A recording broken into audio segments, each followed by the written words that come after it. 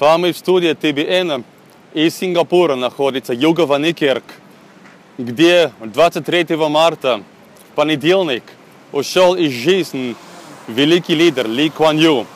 Ли Куан Ю является основателем современного Сингапура. И здесь со мной выстраивалась очередь на тысячи людей, когда в течение всей ночи люди будут оказать последнюю честь великому лидеру. Сегодня Сингапур – великая страна, э, страна, которая превращалась в течение одного поколения из страны третьего мира в страну первого мира. И в его лидерстве все время был один человек – Ли Куан Ю.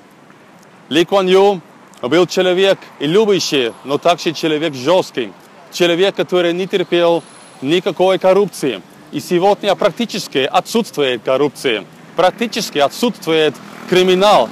В этом городе есть уникальность, что э, люди чувствуют свободу. Тем не менее, для тех, которые нарушают закон, этот город действительно очень неудобный. Сегодня мы понимаем, что Сингапур стоит за счет человека, который буквально отдал свою жизнь за Сингапур. И люди имеют огромное почтение к этому лидеру и к его принципам. Мы видим, что настроение здесь в городе положительное.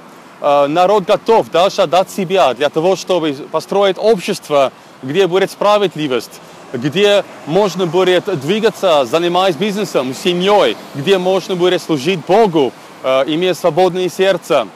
В Сингапуре можно начинать бизнес в течение двух дней. Можно зарегистрировать свою компанию и начинать работать.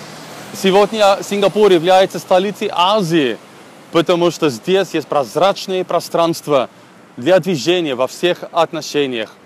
И мы видим, что здесь сегодня, в эту ночь, и молодежи, и пожилых людей, люди из всех поколений, которые имеют стремление дальше трудиться для того, чтобы этот маленький остров – был примером для других стран.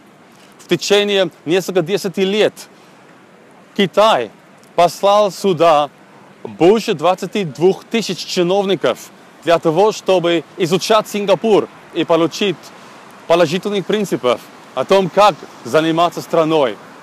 И действительно сегодня мы видим, что Сингапур процветает, потому что, во-первых, здесь Бога любят, во-первых, здесь есть христианские основания – и также был великий лидер, которого поставил Господь, Ли Куан Ю. Давайте продолжаем молиться за Сингапур, за Азию. Да благословит Господь Сингапур.